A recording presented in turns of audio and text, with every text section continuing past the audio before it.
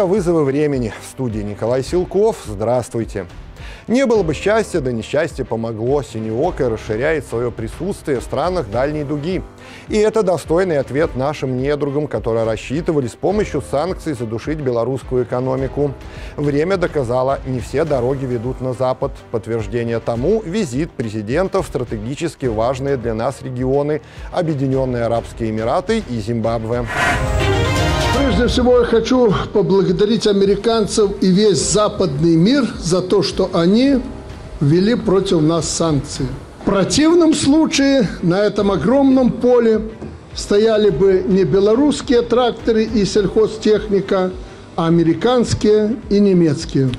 Вы должны помнить, нас разделяют немалое расстояние, но мы готовы всегда помогать вам – Африка усиливает свое планетарное влияние, и Беларусь рассчитывает закрепиться в регионе надолго. Именно так Александр Лукашенко обрисовал перспективы континента. Табак, хлопок, чай, сахарный тростник. На этом можно заработать не меньше, чем на золоте и алмазах, которые тоже там добывают.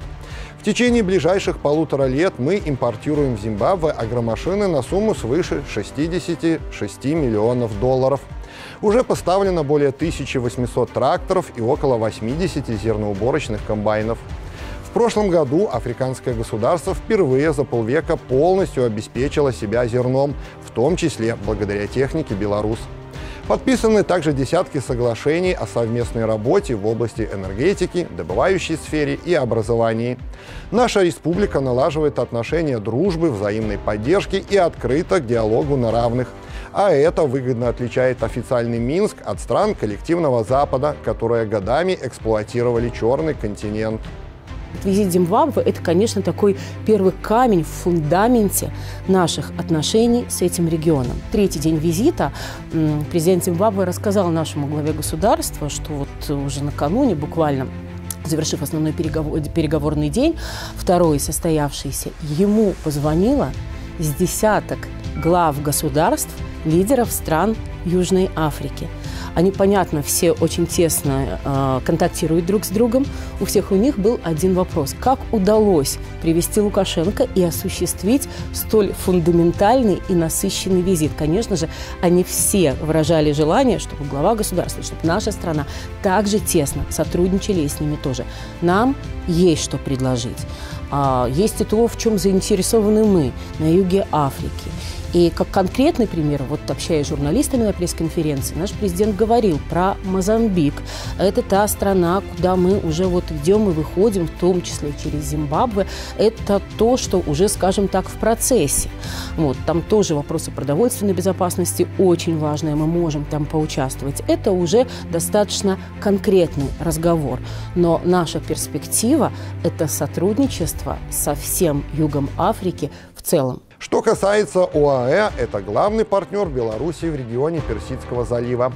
Значимый инвестор в нашу экономику. За пять лет товарооборот вырос более чем в три раза. Уверенно растут объемы торговли услугами, в числе приоритетных направлений – продовольствие, зеленые технологии и IT-сфера.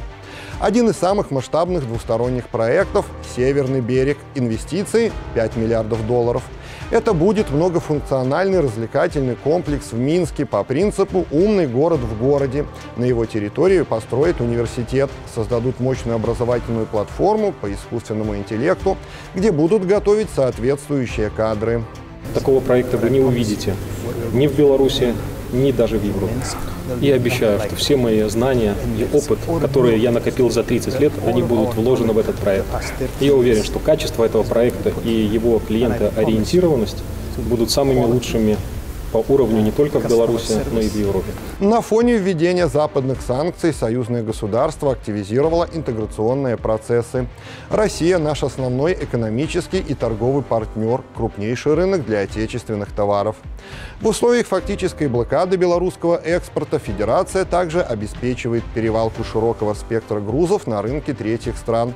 Кроме того, в рамках 28 союзных программ идет унификация экономического законодательства и их денежных монетарно-кредитной политики, интеграция платежных систем.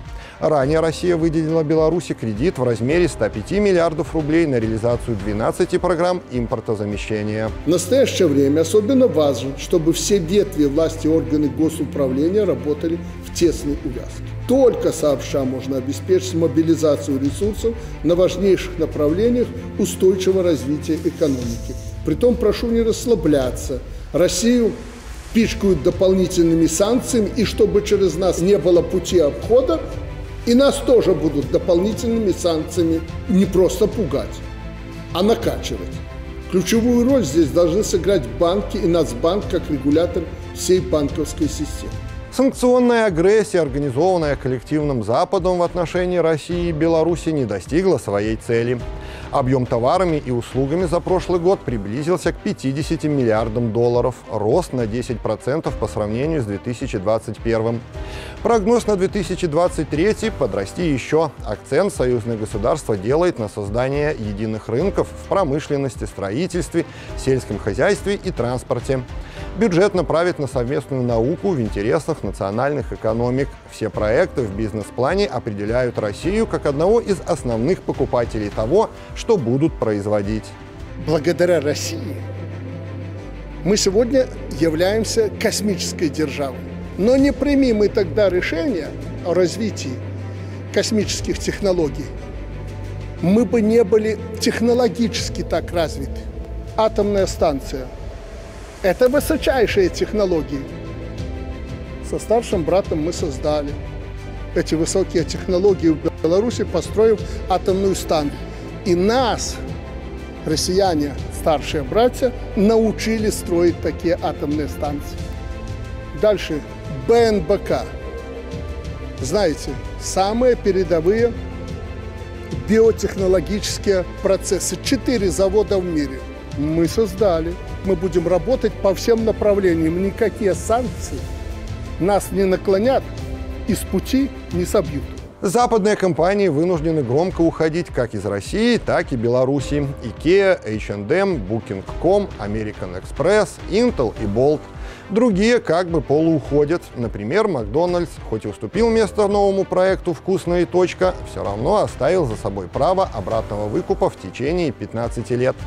К тому же немалая часть поставщиков продуктов питания и полуфабрикатов – организаций, где конечные владельцы – зарубежные корпорации. И здесь Александр Лукашенко в очередной раз подчеркнул, жизнь после санкций возможна, и мы можем сами осваивать те или иные отрасли некоторые, особенно среди молодежи, да и, наверное, среднего возраста, может и старшего, стали ахать и охать. Ах, Макдональдс уходит. Я думаю, слава тебе, Господи, что хоть уходит. Но только место Макдональдса, где работают наши люди, наши специалисты, где потребляется наш товар, должны занять белорусы.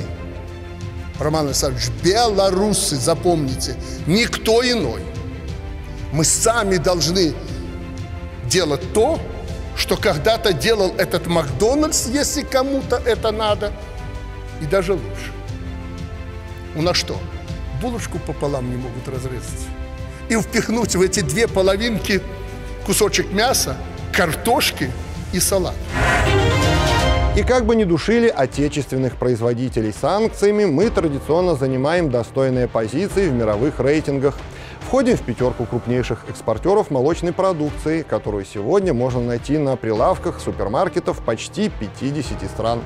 Беларусь пришла на рынок Китая, и не просто пришла, а успешно конкурирует с Новой Зеландией, признанным лидером в молочном мире. А ведь нам действительно есть что предложить. Производим более 1800 наименований продукции. Наши сыры ничем не уступают по вкусовым характеристикам и качеству известным мировым брендам.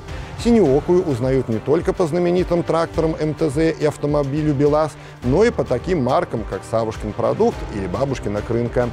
Как ни крути, санкции заставили нас двигаться быстрее. Сейчас, кстати, Евросоюз готовит очередной десятый пакет. Только вот результат развития экономики и заработанное на экспорте подтверждают, вместе можно преодолеть многое. Собаки лают, караван идет.